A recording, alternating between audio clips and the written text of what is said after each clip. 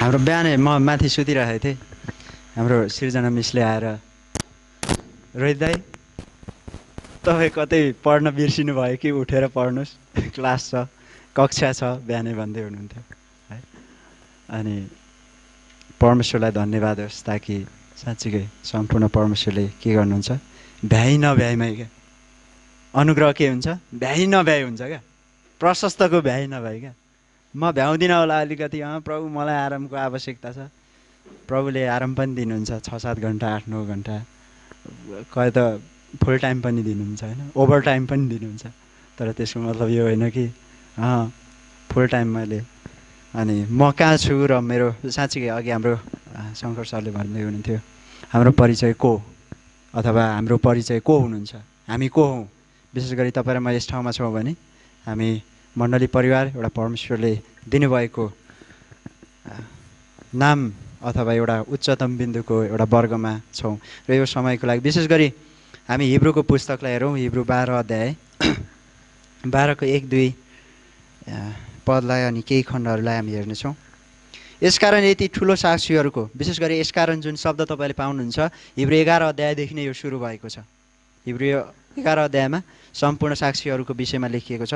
अनि यहाँ यसकारण यदि ठुलो यति ठुलो साक्षीहरूको बादलले हामी पनि घेरिएका हुनाले आफ आओ आओ हरेक भार र पाप जसले हामीलाई सजिलै झेल्दछ पन्चाओ आओ सबै के हो? भार पापहरू पन्चाओ सजिलै पन्चाओ र धीरजसँग धीरजसँग हाम्रो सामु राखिएको त्यो दौड दगुरौँ। त्यो दौड दगुरौँ। त्यो दौड दगुरौँ। हाम्रो विश्वासकर्ता र सिद्ध पार्नुहुने यसुलाई हेर्दै जसले आफ्नो अघिल्लोतिर अघिल्लोतिर राखिएको आनन्दका निम्ति शर्मलाई पनि तुच्छ ठानेर क्रुसको शासना सहनु भयो र परमेश्वरको सिंहासनको दाहिने हातपट्टि बस्नुभयो। जसले आफ्नो विरुद्धमा पापीहरूको यस्तो विरोध सहनुभयो उहाँलाई विचार गर कि थकित नहो र आफ्ना मनहरूमा हताश नहो। थकित नहो हताश नहो। थकित नहो हताश नहो। तिमीहरू दौड। आओ सम्पूर्ण पाप भारहरू सम्पूर्ण कुराहरू पन्साओ र के गर? दौड दौड। कहाँ? कुन बाटोमा? कुन तरिकाले? विशेष गरी हिब्रूको पुस्तक यी स्वभावहरू यी शैलीहरू हामीले हेर्छौँ भने व्यक्तिगत रूपमा म पावलले लेखेको भनेर भन्छु। पावलले जुन लेखेको यी पत्रहरू जुन जुन तरिकाहरू हामी सम्पूर्ण कुरालाई हेर्छौँ भने फरक जुन दृष्टिकोणहरू दिएको छ दृष्टिहरू दिएको छ तर विशेष गरी यी कुराहरू हामी हेर्छौँ भने एघार अध्यायमा सम्पूर्ण साक्षीहरू दिएको छ। को साक्षीहरू? इतिहासका। जुन नोवाको विषयमा अब्राहमको विषयमा मोसाको विषयमा योसुको विषयमा राहाबको विषयमा अनि सम्पूर्ण इतिहासका। इतिहासका जति पनि दाउदको विषयमा अनि यस सम्पूर्ण मानिसहरूको विषयमा छ। तर त्यो सँगसँगै अब बाह्र अध्यायमा हामी आउँछौँ भने यहाँ अन्तिम अन्तिम खण्डहरूमा जुन एघारको अन्तिम यो बाह्रको जुन एक दुई तिन चार यी खण्डहरूमा हामी पाउँछौँ। यसकारण यति ठुलो साक्षी कुन साक्षीले होइन? कुन साक्षीले? अवश्य पनि त्यो साक्षी हामीले इतिहासमा देखेका छौँ। अवश्य पनि तपाईँ र मैले त्यो इतिहासमा पढेका छौँ। अब अवश्य पनि इतिहासलाई हामीले पल्टाएका छौँ। कुनद्वारा विशेष गरी एकजना वकिललाई सुसमाचार सुनाउने मौका पाएको थिएँ। अनि उहाँले भन्दै हुनुहुन्थ्यो मलाई क्रिस्चियनहरू मन पर्दैन। मलाई क्रिस्चियनहरू मन पर्दैन। अनि मैले भने तपाईँलाई मन पर्दैन ठिकै छ। तर तपाईँ एउटा वकिल भएको नाताले तपाईँले बाइबल अवश्य पनि पढ्नु भएको छ। बाइबलले के भन्छ? तपाईँ एउटा वकिल हुनुहुन्छ। तपाईँले मानिसलाई कसरी न्याय गर्नुहुन्छ? के सजिलो छ त्यो? के तपाईँ जस्तै त्यो मान्छे होइन र? के तपाईँ जस्तै सम्पूर्ण च तपाईँमा जति कोषहरू छ त्यो मानिसहरूसँग पनि त्यति नै कोष छ तपाईँ तपाईँ जति दिमाग छ विवेक छ बुद्धि छ ज्ञान छ त्यो मान्छेहरूसँग छैन? र पनि तपाईँले कसरी न्याय गर्नुहुन्छ त्यो व्यक्तिहरूको?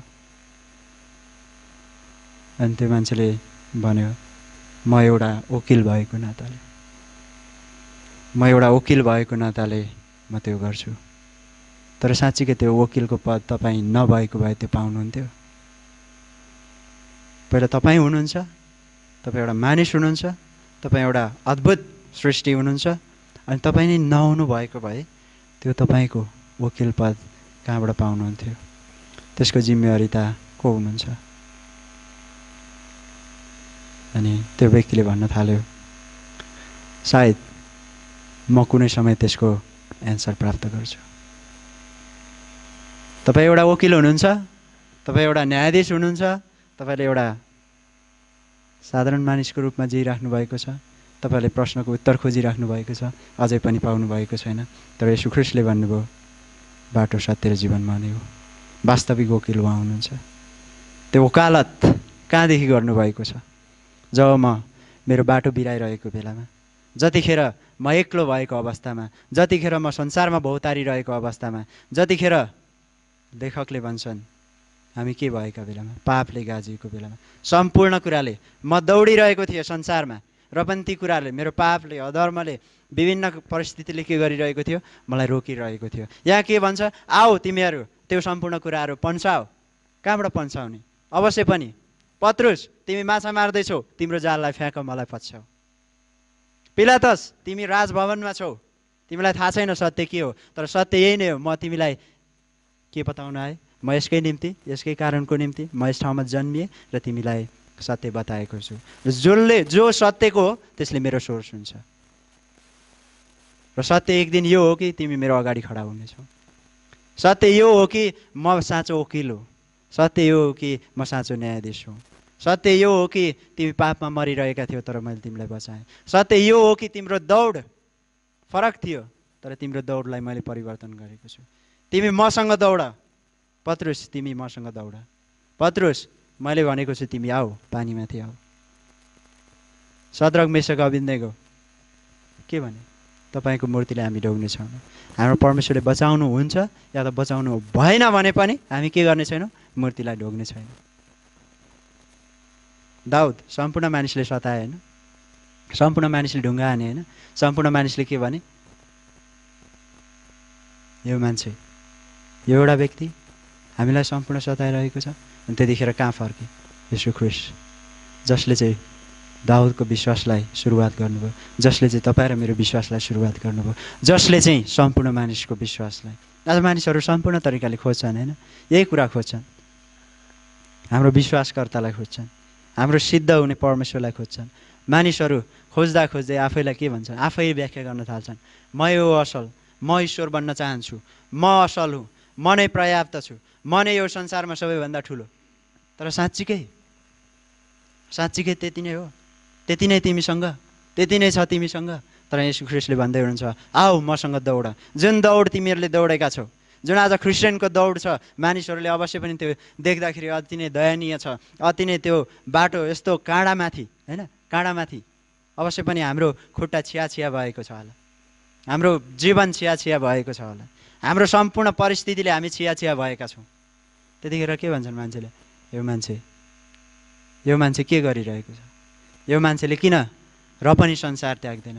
यो मान्छे किन संसारमा यसरी रहिराखेको छ जसको कारणले म देखिरहेको छु यसको जीवन खतम हुन गइरहेको छ? तर जबसम्म तपाईँ र म छ्या छ्या हुँदैनौँ जबसम्म तपाईँ र म दुःखले पीडाले दबिँदैनौँ जबसम्म सतावटमा हामी पर्दैनौँ जबसम्म आगोको भट्टीभित्र पर्दैनौँ तबसम्म मानिसको पुत्रलाई कसैले देख्ने छैन। सदरक मेसक अबिन्दैको होइन? जब आगो भट्टीमा गए नबुकधनेश्वरले के भने मैले तिनजना मानिसलाई भ्याएको थिएँ यो एकजना को जो मानिसको पुत्र जस्तो। चार्ज स्पर्जनले यसरी लेखेका थिए।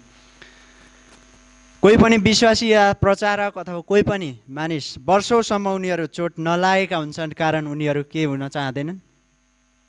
सताइन चाहँदैन सैतानले जसरी पनि क्या तपाईँ र मलाई हामी अलिकति फोर्स गर्छौँ अलिकति अगाडि जाने कोसिस गर्छौँ भने सैतानले मन पराउँदैन। उसले के गर्छ? अलिकति ब्याकस्लाइड गरेर अलिकति शान्त ल्याउने कुरा गर्छ हामी भन्छौँ प्रभु धन्यवाद सबै कुरा ठिक छ। तर त्यही समयमा त्यही समयमा सायद यो दौडलाई हामी स्टप गर्न सक्छौँ। हामी रोक रोक रोक्न गइरहेका छौँ सायद तर त्यो नरोकौँ। कहिले पनि नरोक्नुहोस्। तपाईँको दौड मण्डली जाने दौड सुसमाचार जाने दौड मिसन जाने दौड आफ्नो परिवारसँगको दौड आफ्नो छिमेकीसँगको दौड बाइबल कलेजको दौड सम्पूर्ण कुराहरूको दौड। कहिले पनि नरोक्नुहोस्। कहिले पनि। विशेष गरी पावलले त्यो फिलिपी तिन अध्यायमा भन्छन् होइन मैले पछाडिका कुराहरूलाई के गरेँ?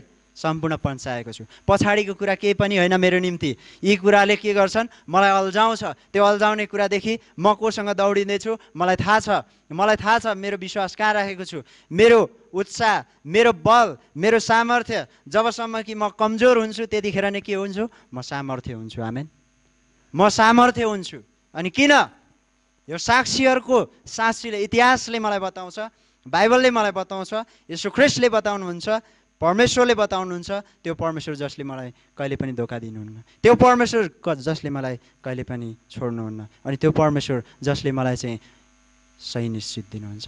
त्यो परमेश्वर जसले चाहिँ मलाई कहिले पनि भन्नुहुन्न।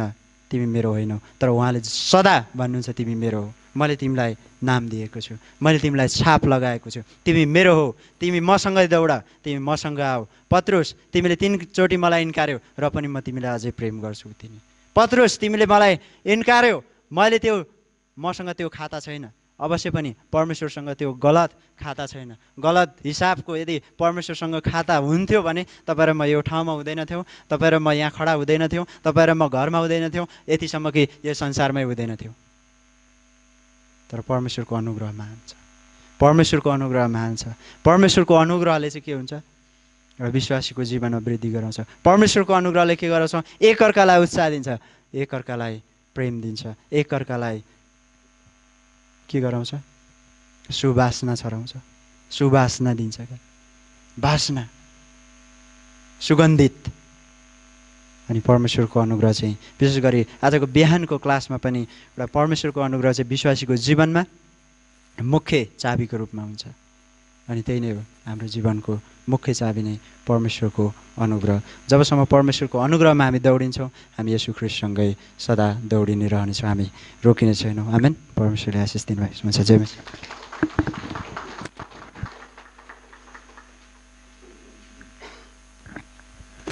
हुन्छ हामी फेरि ताली बजार धन्यवाद दिनेछौँ उहाँलाई। अनि साँच्चै नै दौडको विषयमा उहाँले हाम्रो स्पष्ट बताएर जानुभयो होइन परमेश्वरसँग दौडिने विषयमा। अनि साँच्चै नै हामी परमेश्वरसँग दौडिरहेका छौँ। परमेश्वरलाई धन्यवाद भएको होस्। अनि यो समयको निम्ति अनि साँच्चै त्यस्ता साथीहरूले चाहिँ हामीलाई होटिङ गरिरहेका छन् होइन? अस्ति हामी त्यहाँ कबड्डी थियो है यहाँ कबड्डी थियो यो टाउन प्लानिङमा निरोजी हामीहरू हेर्न गइरहेका थियौँ। त्यहाँ चाहिँ अनि गेटवे स्कुलको र अनि उता यो गुएसो स्कुलको चाहिँ पढिरहेको थियो। त्यहाँ चाहिँ गेटवेलाई चाहिँ पुरा होटिङ गरिरहेको थियो। गेटवे गेटवे गेटवे भनेर। म निरोजीलाई भनिरहेको थिएँ माथिबाट साथीहरूले पनि हामीलाई यसरी नै हुटिङ गरिरहेका छन्। होला हामी दौडिरहेका छौँ अनि नाम काटी काटी शङ्कर शङ्कर भन्दै रोहित रोहित भन्दै होइन? एक हिसाबले त्यस्तो हुटिङ व्यक्तिगत रूपमा। अनि हामी सबैलाई उनीहरूले हुटिङ गरेर हो दौडमा अवश्य पनि निराशहरू आउनु सक्दछ कहिले ठेस लाग्नु सक्दछ काँडामा हिँड्दाखेरि घाउहरू हुन सक्दछ अनि सैताले भन्छ छोडिदेऊ छोडिदेऊ छोडिदेऊ सक्दैनौ तिमी। तर माथिबाट साथीहरूले भन्छन् सक्छौ सक्छौ दौडियो दौडियो होइन? अनि त्यो आवाज चाहिँ हामीले विशेष सुन्न आवश्यक छ। हामी हुन्छ यो समय विशेष गरेर हामी फेरि मुख्य वचनमा आएका छौँ। यो समय चाहिँ हामी हरिदालाई दिन चाहन्छौँ। ताली बजार उहाँलाई हामी स्वागत।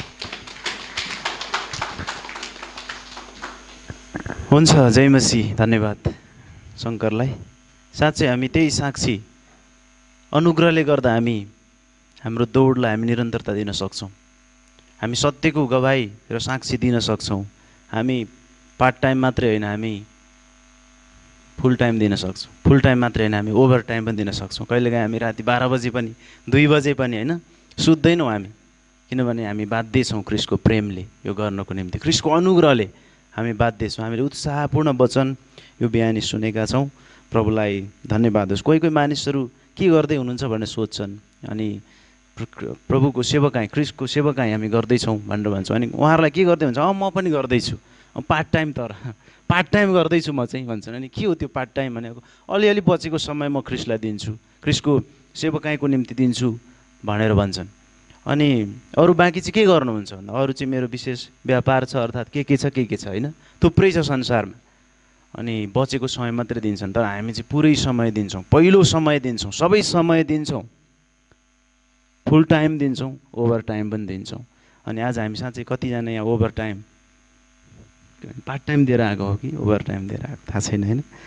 अनि यहाँ एउटा शब्द थियो हिब्रू बाह्रको एक पदमा यसकारण यति ठुलो साक्षीको बादलले हामी पनि घेरिएको हुनाले आओ हरेक भार र पाप जसले हामीलाई सजिलै जेल्दछ पन्साउँ र धीरजसँग हाम्रो सामु राखिएको त्यो दौड दगुरौँ।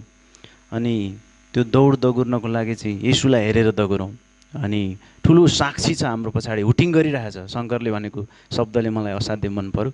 अनि हुटिङ गरिरहेछ। ओ सक्छौ सक्छौ। हामी त्यहाँ सक्दैनौँ होला। म पहिला दौडिन्थेँ सानो बेलामा स्कुलमा अनि एउटा सानो त्यहाँनिर चाहिँ एउटा के भन्छ त्यो पोखरी थियो। आहाल पनि भन्छ गाउँमा। त्यसको डिल डिलमा चाहिँ दौडिनु पर्ने हुन्थ्यो। जहिले पनि स्कुल सकेपछि त्यहाँ दौडिनु पर्ने हुन्थ्यो अनि लास्टमा एउटा चक्लेट पाइन्थ्यो त्यत्तिको निम्ति। अनि त्यो चक्लेटको निम्ति त्यो आहालको परिक्रमा गर्नुपर्ने थियो। अनि भोक पनि लागेको थियो म दुई तिन दिन भएको थियो मम्मीसँग रिसाएर खाना नखाएको। अनि त्यो बेलामा के कारणले रिसाएको त्यो बिर्सेँ मैले। अनि न त्यतिखेर रिसाएपछि चाहिँ अनि खाना नखाने। अनि खाना नखाइकन आएको दुई दिन भइसकेको थियो।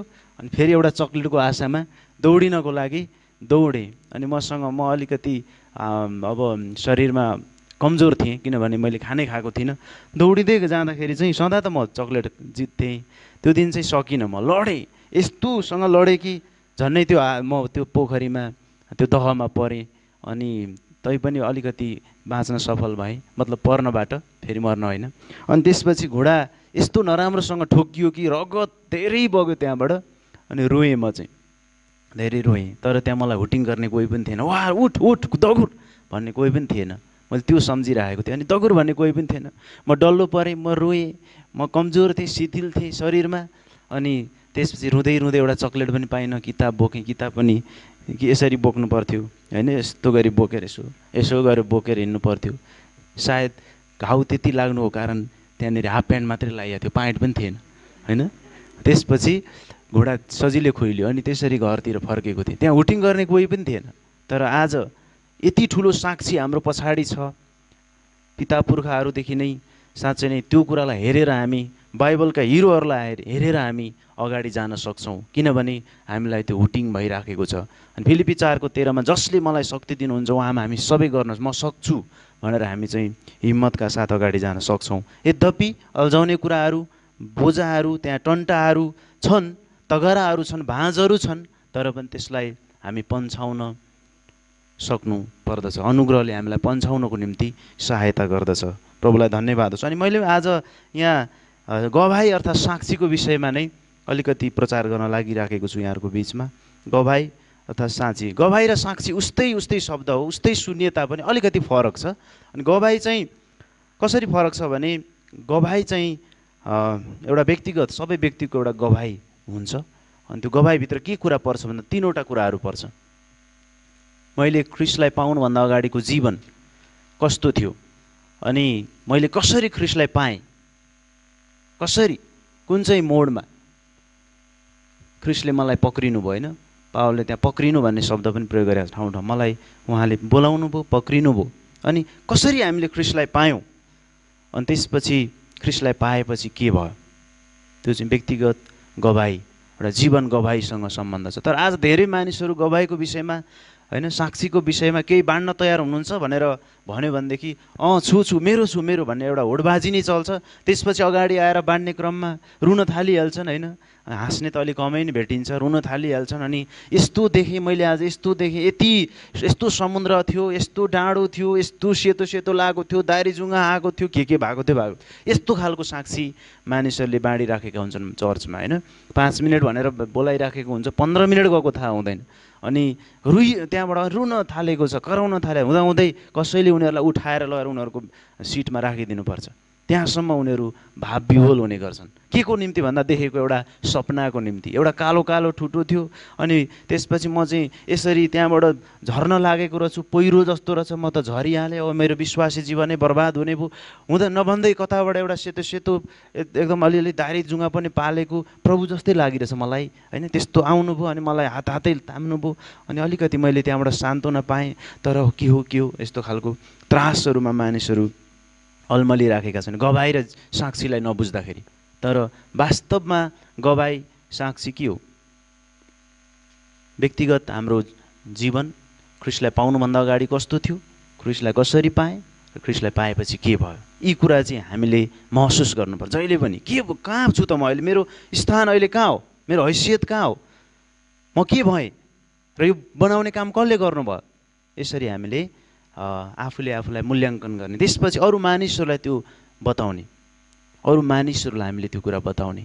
त्यसपछि अर्को चाहिँ साक्षी चाहिँ यसलाई चाहिँ विटनेस शब्द गवाईलाई चाहिँ टेस्टिमनी भन्छ अङ्ग्रेजीमा अनि साक्षीलाई चाहिँ विटनेस अनि यो भित्र चाहिँ विशेष गरी यसु ख्रिस्टको विषयमा। यसु ख्रिस्ट चाहिँ यसु ख्रिस्ट चाहिँ को हुनुहुन्थ्यो? यसु ख्रिस्ट के गर्न आउनुभयो? अनि कसका निम्ति गर्न आउनुभयो? कसका निम्ति गर्न आउनुभयो? अनि उहाँ अहिले कहाँ हुनुहुन्छ? उहाँले के गर्नुहुनेछ यो कुरा यो चाहिँ यसु ख्रिस्टको विषयमा मानिसहरूको अगाडि बताउने होइन हामीले घोषणा गर्ने। त्यसपछि हामी पनि त्यो विषयमा स्योर हुने कुरा चाहिँ साक्षीभित्र पर्दछ। अनि गवाईभित्र चाहिँ मेरो जीवनसँग। अनि यी दुइटै उस्तै उस्तै कुरा जस्तो लाग्छ तर पनि अलिकति यसरी फरक प्रकारले हामीले बुझ्दा सजिलो हुन्छ भनेर यहाँहरूको बिचमा मैले भन्दैछु। अनि त्यसको लागि चाहिँ जहिले पनि हामी गवाईको निम्ति चाहिँ हामी खडा हुनुपर्छ तयार हुनुपर्दछ। अनि आफ्नो बारेमा कसैले सोधनी गरेमा त्यो बताउनको निम्ति ख्रिसको बारेमा सोधेमा त्यो बताउनको निम्ति हामी जहिले हरदम तयार हुनुपर्दछ ख्रिसले के गर्नुभयो? अनि मेरो जीवनमा विशेष मेरो जीवनबाट सुरु। मैले औ त्यो मान्छेको जीवनमा यस्तो गर्नुभयो ख्रिसले भनेर हामीले त्यहाँ भनिरहँदाखेरि सायद त्यति प्रभावकारी नहुनसक्छ मेरो जीवनमा के गर्नुभयो? त्यो चाहिँ एउटा बल्दु अनि जिउँदो त्यो साक्षी हुन्छ। अनि यहाँ दोस्रो कोरन्थी तिनको दुई र तिन पदमा यसरी लेखिएको छ। दोस्रो कोरन्थी अ, तिनको दुई र तिन पदमा तिमीहरू नै हाम्रो पत्र हो। अझै अर्को बाइबलमा सिफारिस पत्र हो भनेर लेखेको छ। अनि जो हाम्रा हृदयहरूमा लेखिएको छ र सबै मानिसहरूद्वारा चिनिन्छ र पढिन्छ। सबै मानिसहरूद्वारा चिनिन्छ र पढिन्छ। यो प्रकट भएको छ। तिमीहरू ख्रिसको पत्र हौ जसको सेवा हामीद्वारा भएको छ जो मसीले लेखिएको छैन तर जीवित परमेश्वरका आत्माले ढुङ्गाका पार्टीहरूमा होइन तर हृदयका मासुरूपी पार्टीहरूमा लेखिएको छ। हृदयका मासुरूपी पार्टीहरूमा लेखिएको छ भित्र लेखिएको छ। अनि हामी नै हो हामीलाई नै मानिसहरूले पढ्छन्। हामीलाई नै पढ्छन्। हामीलाई हामी बाइबल पढ्छौँ मानिसहरूले हामीलाई पढ्छन्। यो व्यक्तिगत हामी विश्वासीहरूको जीवनसँग सम्बन्ध छ गवाई अनि मैले के देखेँ? मैले के सुनेँ? त्यहाँ के घटना घटेको थियो? त्यो त्यो चाहिँ गवाई हो। मैले के देखेँ? मैले के सुनेँ? त्यहाँ के भएको थियो? के घटना घटेको थियो? त्यो चाहिँ गवाई हो। त्यो भएन भने त्यो हामीमा त्यो छैन भने हामी बेकारमा बेकारको मान्छेहरू जस्तै हुन्छौँ। हामीले पाउनु त पायौँ के पायौँ पायौँ। त्यसैले त्यो कुरा हामीसँग बारम्बार आउनु पर्दछ के देखेँ के सुने त्यहाँ के घटना भने उदाहरण जस्तो न्यायालयमा एउटा व्यक्तिलाई खडा गरिएको छ भने अर्को होइन गवाई दिनको निम्ति साक्षी दिनको निम्ति त्यहाँ खडा गरिएको छ भने उसले त्यहाँ बताउँदछ। यस्तो यस्तो भएको यस्तो यस्तो भएको। मैले यो कुरा देखेको मैले यो कुरा सुनेको त्यहाँ यस्तो घटना घटेको भनेर उसले भन्छ अनि उसको आ त्यसको आधारमा उसको न्याय हुन्छ। है त्यसो कारणले हामीले ख्रिसको निम्ति के कुरा देख्यौँ? ख्रिसमा हामीले के सुन्यौँ? अनि के भयो? त्यो कुरा हामीले थाहा पाउनु पर्दछ। अनि व्यक्तिगत गवाईले चाहिँ विशेष गरी मेरो निम्ति के गर्नुभयो? अनि उहाँले के गर्नुभएको छ भन्ने कुरा विशेष छ। अनि कसरी हामीले यो गवाईलाई प्रस्तुत गर्न सक्छौँ? कसरी मानिसहरूको बिचमा हामीले गवाईलाई प्रस्तुत गर्न सक्छौँ? अर्थात् कहाँ प्रस्तुत गर्न सक्छौँ? कस्तो कस्तो ठाउँमा हामीले यो गवाई प्रस्तुत अब ढुङ्गाहरूको अगाडि गएर हामीले भनेर भएन। समुद्रको अगाडि नदीको किनारमा बसेर हामीले ल समुद्र सुन भनेर हामीले भनेर भएन होइन? धेरैचोटि दृष्टान्तहरूमा परमेश्वर बोल्नुभयो अनि इजरायलीहरूलाई त्यस्तै गरी प्रयोग गर्नुभएको छ विभिन्न शब्दहरू होइन? बाइबलमा हामीले हेर्दा। अनि हामीले पनि त्यस्तै सिको गरे हे रुख सुन हे प्रकृति सुन हे भनेर त हामीले भन्न मिल्दैन। कस्तो मानिसहरूको बिच होइन? अक्रिस्चियनहरूको बिचमा हामीले गवाईलाई प्रस्तुत गर्न सक्छौँ। अक्रिस्चियनहरूको बिचमा। अनि जो अप्ठ्यारोमा छ जो समस्यामा छ त्यतिखेर ओ अनि हिजो त्यहाँ एउटा कुरा मैले सुन्दै थिएँ एउटा हाम्रो मण्डलीको भाइले भन्दै हुन्थ्यो अनि हाम्रो यहाँ विश्वासी अहिले हुनुहुन्न हाम्रो राजेन्द्र।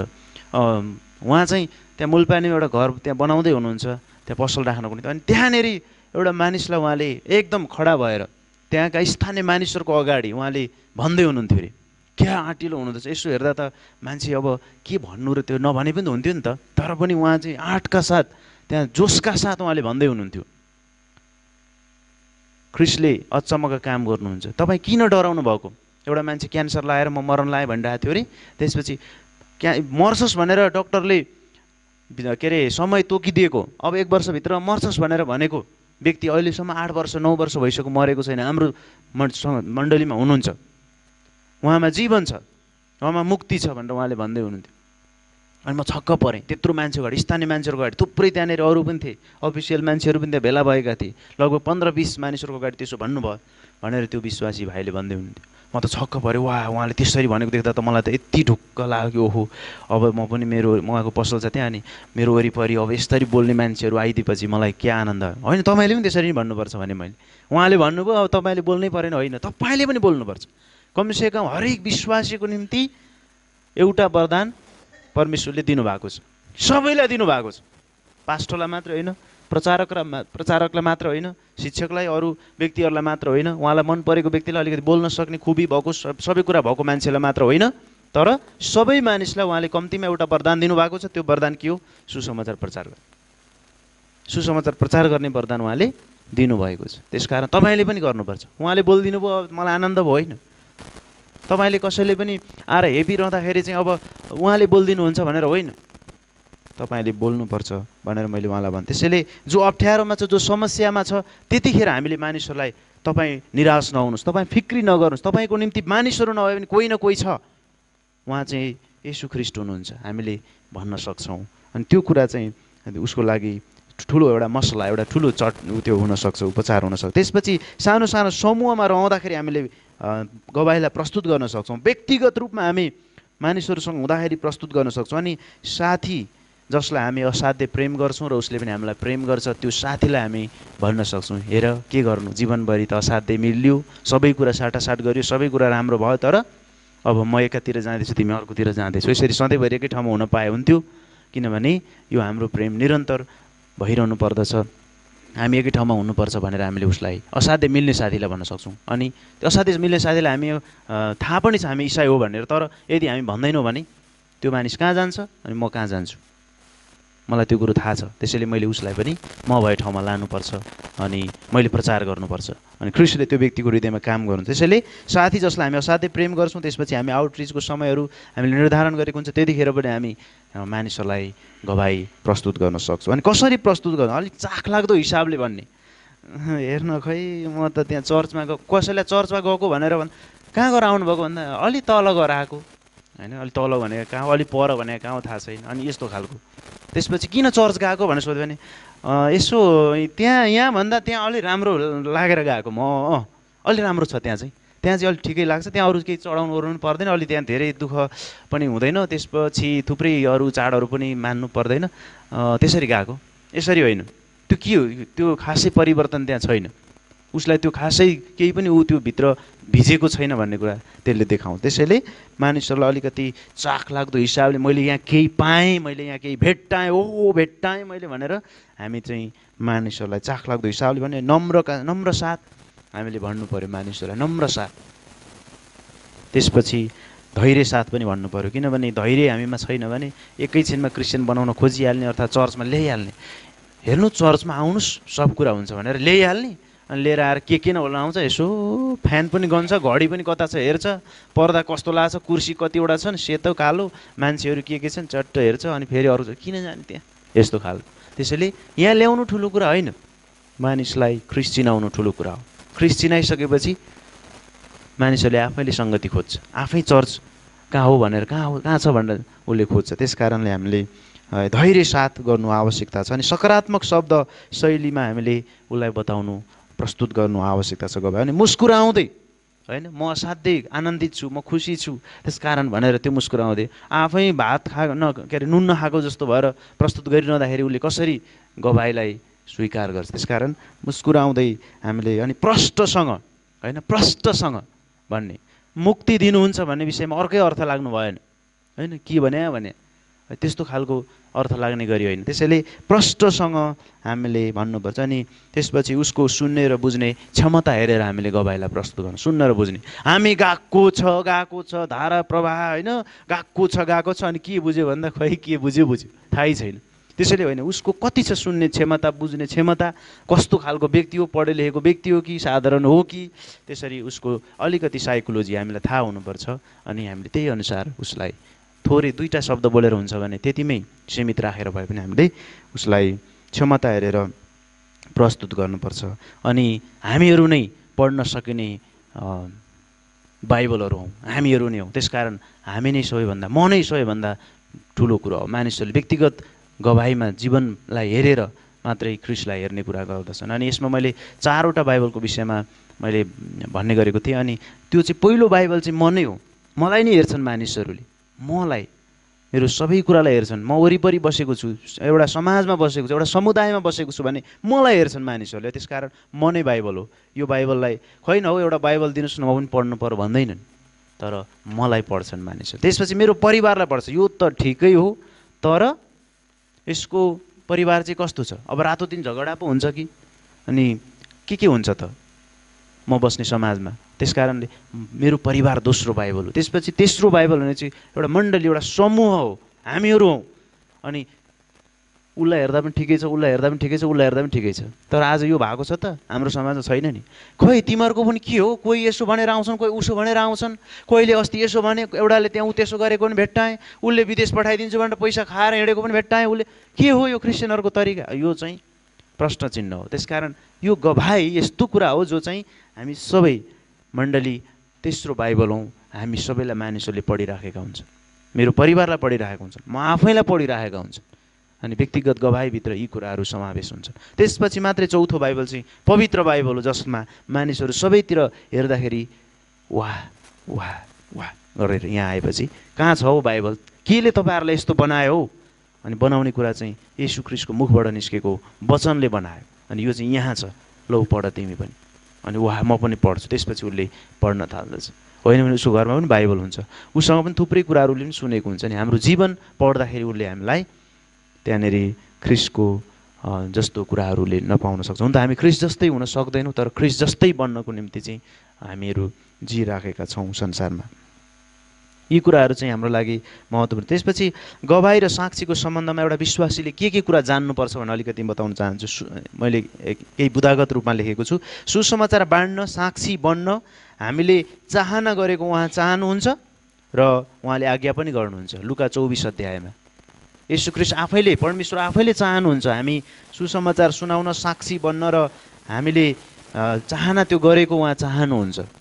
अनि आज्ञा पनि गर्नुहुन्छ। लुका चौबिस अध्यायको छयालिसदेखि उन्चास त्यसपछि योन्ना सत्र अध्यायको अठारदेखि बिस पदमा हामीले देख्न सक्छौँ त्यहाँ। हामीसँग सबै पढ्ने समय छैन।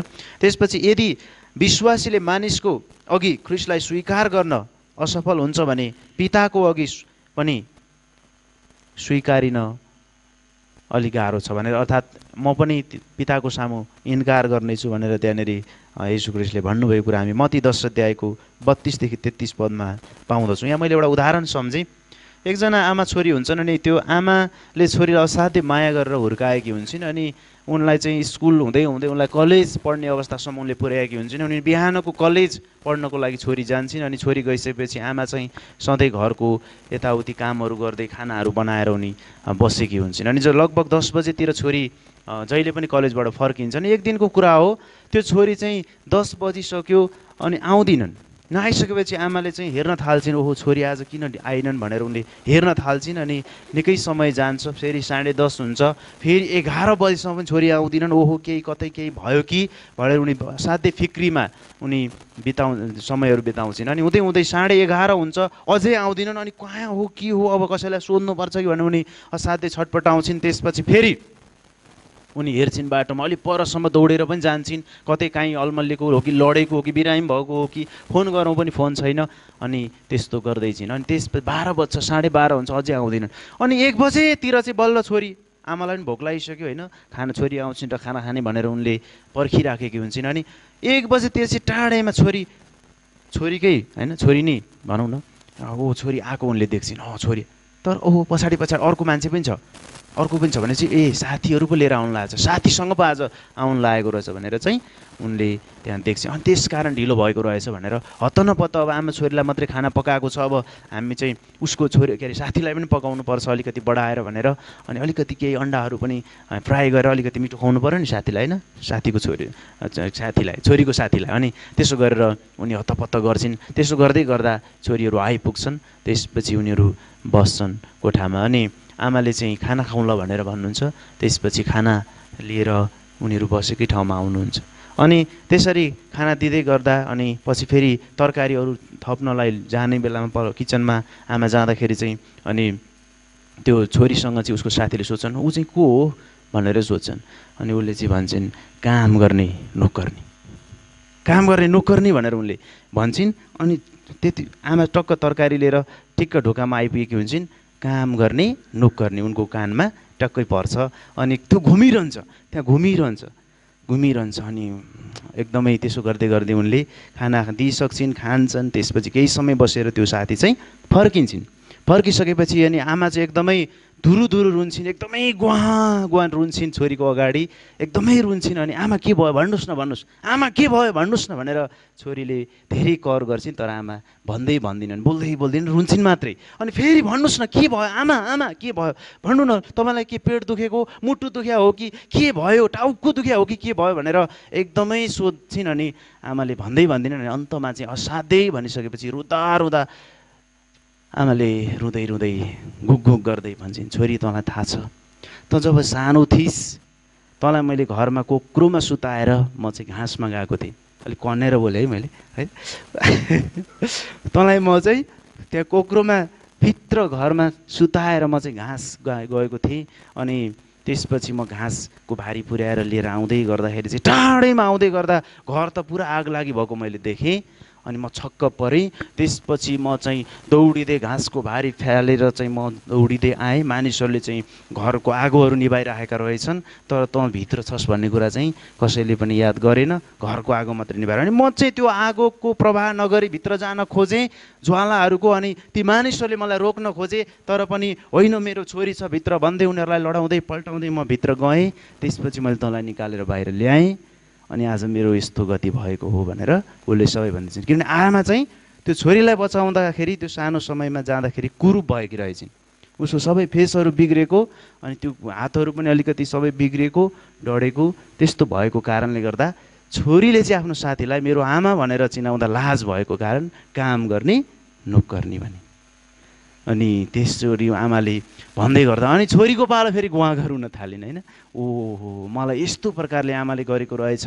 तर मैले चाहिँ आमालाई चाहिँ मेरो मम्मीलाई चाहिँ साथीको अगाडि चाहिँ नोकर्नी भने कति चित्त दुखाएँ भनेर उनी फेरि रुन थालिन्। वास्तवमा हामीले या मैले अहिले पढेको बुझ्दा यदि विश्वासीले मानिसको अघि ख्रिस्टलाई स्वीकार गर्न असफल हुन्छ भने पिताको अघि उहाँले स्वीकार हामीले हाम्रो निम्ति कुरूप हुनुभएको यसो ख्रिस्टलाई मानिसहरूको अगाडि जहिले पनि प्रचार गर्नुपर्छ जहिले पनि उहाँको विषयमा हामीले साक्षी दिनुपर्छ। हामीहरू इन्कार गर्ने होइन। हामीले उहाँको प्रचार उहाँको साक्षी दिनको निम्ति हामी लजाउने होइन। हामी शर्माउने होइन। यो कुरा चाहिँ हामीहरूको निम्ति असाध्य। यो यदि यति गर्दैनौँ भने हामीले कसरी उहाँको महानतालाई स्वीकार गरेका छौँ हाम्रो हृदयमा होइन? हामीले यो कुरा सहर्ष गर्न सक्छौँ। मानिसहरूले मानिसहरूले जे यसुमा देख्छन् त्यही विश्वासीहरूको जीवनमा पनि देख्छन्। अनि मती पाँचको चौधदेखि सोह्र अनि पहिलो कोरन्ती तिनको एकदेखि तिन। यहाँ हामी नै बाइबल हौँ भन्नु अहिले अघि मैले भने। अनि मती पाँचको चौध सोह्रमा पनि त्यही लेखेको छ तिमीहरू डाँडामा बसालिएका सहरहरू हौ। सबैले देख्छन्। मानिसहरूले बत्ती बालेर पाथीले छोप्दैनन्। तर माथि राख्छन् होइन? देखिने गरी राख्छन् त्यसैले यो कुरा चाहिँ गवाईको लागि छ। अनि ख्रिस्टले विश्वासीहरूलाई मिलाएको सेवकाई सुम्पनु भएको छ। हराएको संसारमा उहाँको राजदूत हुनलाई उहाँले बोलाउनु भएको छ। दोस्रो कोरन्ती पाँचको अठारदेखि एक्काइस मिलाप गराउने कामको जिम्मा उहाँले हामीलाई दिनुभएको छ। किनभने पहिला हामीलाई उहाँले मिलापमा ल्याउनु भयो। विश्वासीको कर्तव्य आत्माको शक्तिमा ख्रिस्टको वचन प्रचार गर्नु र नतिजा चाहिँ परमेश्वरमा सुम्पनु हो। हामीले आत्माको शक्तिमा सामर्थ्यमा सुसमाचार प्रचार गर्ने ख्रिसको वचन प्रचार गर्ने नतिजा चाहिँ हामीले नि खोज्ने हो। मैले आज बिसजनालाई प्रचार गरेँ तपाईँहरू बिसजनालाई गरे मध्ये पाँचजना आउनै पर्छ। अर्थात् त्यत्रो गरे थिएँ किन आएनन् भनेर हामी फ्रस्ट्रेसन हुनु आवश्यकता छैन। नतिजा चाहिँ परमेश्वरमा सुम्पिनुपर्छ। उहाँले नै ती मानिसहरूलाई ल्याउने काम गर्नुहुन्छ। अर्थात् नल्याए पनि त्यो हाम्रो कुरा होइन हाम्रो ठेक्का होइन। अनि हामीलाई एक दिन उहाँले सोद्धाखेरि किन ल्याइनस् भन्नुहुन्न किन प्रचार गरिनस् चाहिँ भन्नुहुन्छ। त्यसपछि सुसमाचारको सन्देश क्रुसमा मर्नुभएको ख्रिसको विषयमा केन्द्रित हुनुपर्छ। हामीमा होइन। यहाँ पहिलो कोरन्ती पन्ध्र अध्यायको एकदेखि चारसम्म हेर्ने हो भने हामी चाहिँ ख्रिसलाई प्रचार गर्ने हो। बौरी उठ्नु भएको ख्रिसलाई प्रचार गर्ने हो। कुनै मानिसको प्रचार गर्ने होइन यहाँ। होइन? सलमान खानले के गर्दैछ हामी त्यो प्रचार गर्दैनौँ। राजेश हमाल अहिले कसरी जिउँदैछ हामी त्यो प्रचार गर्दैनौँ। अरू कुनै पनि मानिस राजनीतिक मानिस कसरी के गर्दैछ हामी प्रचार गर्दैनौँ। तर हाम्रो सुसमाचारको केन्द्रबिन्दु चाहिँ येसु ख्रिस्टको क्रुस हुनु पर्दछ। त्यसपछि विश्वासीको पापपूर्ण अस्थिर जीवनले सुसमाचारको साक्षीलाई रद्द गर्छ। पापपूर्ण जीवनले चाहिँ होइन? अब विश्वास गरेको तिस वर्ष भयो यति वर्ष भयो भनेर भनिरहेको हुन्छ तर अहिलेसम्म बाँसुरी बजाउन छोडेको छैन होइन? अहिलेसम्म चुरोट खाइरहन्छ अहिलेसम्म त्यो गर्छ। त्यो प्रकारको एउटा पापपूर्ण जीवनशैलीले चाहिँ के गर्छ? सुसमाचारलाई चाहिँ एक प्रकारले साक्षीलाई चाहिँ रद्द बनाउने काम गर्छ। अनि हाम्रो साक्षी ख्रिससँगको प्रेम र कृतज्ञताद्वारा कृतज्ञताद्वारा प्रेरित भएको हुनुपर्दछ। ख्रिससँगको प्रेम र कृतज्ञताद्वारा त्यो भएको हुन्छ। अब अन्तिममा केही कुराहरू छ। गवाई अर्थात् साक्षीको सम्बन्धमा विश्वासीले चाहिँ के गर्नुपर्छ त? होइन हामीले के जान्नुपर्छ अनि के गर्नुपर्छ भन्दा आफ्नो जीवनशैलीलाई व्यक्तिगत रूपमा ख्रिसको बारेमा बताउन समर्पण समर्पण गर्नुपर्छ। ख्रिसको बारेमा बताउन जहिले पनि समर्पण जहिले पनि समर्पण जहिले पनि जतिखेर पनि। कति बताइसक्यो अब किन बताउने होइन? जतिखेर पनि। अनि त्यसपछि फेरि समर्पण गर्नुपर्छ। एउटा पास्टरको छोरा एउटै एउटै भाइ थियो अनि उसलाई चाहिँ घरेलु सङ्गति दिनको निम्ति भनेर उसलाई पारी गाउँमा पठाइन् पठाइन्छ अनि पारी गाउँमा पठाउँदाखेरि यो चाहिँ बर्खाको सिजनमा हुन्छ अनि उसले चाहिँ अलि तलबाट एउटा मिल्ने साथी जो अक्रिस्चियन हो उसलाई पनि लिएर जान्छ। जाने क्रममा चाहिँ त्यो खोला तर तरेर जानुपर्ने अनि खोला तरेर जाँदाखेरि चाहिँ त्यो दुई भाइ छोरा छो पास्टरको छोरा त्यसपछि अर्को साथी जाँदा चाहिँ त्यो बाढीले बगाइदिन्छ त्यो साउनको बाढीमा त्यो खोलाले बगाइदिन्छ। अनि बगाउँदै जाँदाखेरि धेरै मानिसहरूले त्यो देख्छन् अनि ओ तपाईँको यस्तो भयो भनेर खबर गर्छन् अनि धेरै मानिस झर्छन् त्यहाँ। अनि पास्टरले चाहिँ एउटा त्यो बुवाले चाहिँ एउटा डोरी बोकेर त्यहाँ जान्छन् अनि डोरी बोकेर गइसकेपछि त्यो भेलमा उसले अब एउटै अप्सन छ कि त छोरालाई बचाउने कि त छोराको साथीलाई बचाउने। अनि छोरालाई नबचाइकन आफ्नो एउटै छोरालाई नबचाइकन उसले चाहिँ छोराको साथीलाई चाहिँ त्यो डोरी दिन्छन्। त्यसपछि त्यो डोरीमा उसलाई तानेर निकाल्दछन् र छोरा चाहिँ गुम्दछ। त्यसपछि अरू मानिसहरूले गाली गर्छन् परिवारले गाली गर्छन् किन यस्तो गरेको? किन यस्तो गरे एउटै छोरालाई तैँले गुमाएर अर्को मानिस उसको त बरु धेरै भाइ थिए किन उसलाई चाहिँ बचाएको यसरी भन्ने गर्छन्। उसले चाहिँ यस्तो जवाफ दिन्छ कि यो मेरो छोरालाई म फेरि भेट्टाउने छु स्वर्गमा। तर यो छोराको साथीलाई चाहिँ मैले भेट्टाउँदिनँ। किनभने ऊ चाहिँ अनन्त मृत्युमा जान्छ। त्यस कारणले गर्दा मैले यो कुरा उसलाई बचाउनै पर्छ भनेर यसो गरेको। त्यसपछि कस्तो प्रकारको त्यो समर्पण हो? आफ्नो छोरोलाई गुमाएर अनि यो कुराले चाहिँ त्यो गाउँमा एउटा ठुलो परिवर्तन आउँछ। सबै मानिसहरूले त्यो छोराको साथीको परिवारले मात्र होइन अरू मानिसहरूले पनि गाउँमा यसु ख्रिस्टलाई विश्वास गर्छन् अनि ठुलो परिवर्तन त्यहाँ आएको हामी देख्छौँ। त्यसैले यो प्रकारको एउटा समर्पण चाहिँ हुनु आवश्यकता छ। अनि ख्रिस्टको साक्षीको निम्ति चाहिँ प्रत्येक सुअवसर हामीले लिनुपर्दछ र प्रचार गर्नुपर्दछ। दोस्रो तिमोथी चारको एकदेखि पाँच स्वर्ग र नरकको अनन्त सत्यतालाई चिन्नुपर्छ। हामीले लुकाको पुस्तक सोह्र अध्यायको उना उन्नाइसदेखि एकतिसमा भने त्यहाँ धनी मानिस र लाजरसको कुरा पाउँछौँ। किनभने त्यो धनी मानिस जो त्यहाँ मरेर जान्छ अनि लाजरस चाहिँ अब्रामसँग भएको अनि ऊ चाहिँ त्यहाँ एकदमै त्यहाँ वारिपारी भएको कुराले पीडा हुन्छ अनि आफ्नो दाजुभाइलाई गएर भनिदिनुहोस् भन्ने कुरा हुन्छ। तर पनि त्यो बाहना हो त्यो हुन सक्दैन भन्ने कुरा हामी त्यसै हामीले चाहिँ थाहा पाउनु पर्दछ। नरकको पीडा त्यसपछि स्वर्ग जाने कुरा अनि त्यो अवसरको रूपमा लिएर हामीले ती मानिसहरूलाई बताउनु आवश्यकता छ। अन्तमा एक दुईवटा कुरा भनेर अन्तिम गर्छु। हराइरहेको आत्माले पनि सुसमाचार सुन्न पाउनुपर्छ भने हामीले महसुस गर्नुपर्छ। व्यक्तिगत परिणाम वा प्रतिक्रिया जे भोग्नु परे पनि ख्रिस्टलाई प्रचार गर्नुपर्छ। चाहे दुःख होस् चाहे सुख होस् जेसुकै होस् हामीले पाएको आफ्नो मुक्तिको लागि आनन्द गर्नुपर्छ र ख्रिस्टको बारेमा अरूलाई बताउन पाउनु ठुलो मौका हो भने सम्झनुपर्छ। दोस्रो तिमोथिएको बाह्रदेखि सोह्र। त्यसैले आज विश्वासीहरूलाई दिएको यो जिम्मेवारी हामीहरूलाई दिएको यो जिम्मेवारीले हामीले आनन्दका साथ होइन? हामीलाई परमेश्वरले विश्वासयोग्य ठानेर दिनुभएको यो कुरालाई हामीले पनि विश्वासयोग्यता साथ पुरा गर्नु आवश्यकता छ। अनि गवाई र साक्षी चाहिँ क्रिस्चियन जीवनको निम्ति सबैभन्दा ठुलो कुरा हो। मेरो जीवनमा के भयो? ख्रिस्टले मेरो जीवनमा के गर्नुभयो? ख्रिस्ट को हुनुहुन्छ र उहाँले के गर्नुभयो? यो कुरा दिनको लागि हामी हरदम सधैँ खडा हुनुपर्दछ। अनि वास्तवमा यो दिनको लागि साक्षी दिनको लागि मानिसहरूलाई आज किन गाह्रो भइरहेको छ त भन्दाखेरि दुई तिनवटा कुराले एकदमै गाह्रो भइरहेछ। पहिलो कुरा आफै निश्चय छैन। निश्चित नभएको कारणले उसलाई गाह्रो भइरहेको छ। निश्चयता छैन उसलाई। म आफै स्वर्ग जान्छु भने। दोस्रो चाहिँ डराइरहेको छ। डराइरहेको छ। अनि उसले गर्दैन अनि अर्को चाहिँ लाज मानिरहेको छ डराउनु र लाज मान्नु फरक कुरा ऊ लाज मानिरहेको छ उसले फेरि। के गरी भन्ने भनेर। अनि त्यसपछि गएर अर्को चाहिँ थाहै पाएको छैन। थाहै नपाउने विश्वासीहरू हुन्छ मैले गर्नुपर्छ भनेर थाहै नभएको पनि मानिस तर हामी के? नथाहा पाएका छौँ। छैनौँ हामीलाई थाहा छ। हामीलाई डर लाग्छ? नडराउँ। हामीलाई सरम लाग्छ? सुसमाचारदेखि हामी नशर्माउँ। अनि हामीलाई के? अहिले पनि अझै पनि निश्चयता छैन? हामी जान्छौँ। हामीले पाएको मुक्ति पक्का हो भन्ने कुरा? अनि यदि छैन भने हामी पक्का हुनु आवश्यकता छ किनभने हामीले यो निश्चित भएर अरूलाई निश्चित निश्चयता दिलाउनु आवश्यकता छ। आमेन। परमेश्वरले हामीलाई आशिष दिनुभएको होस्। आउनुहोस्। हामी प्रार्थना गरौँ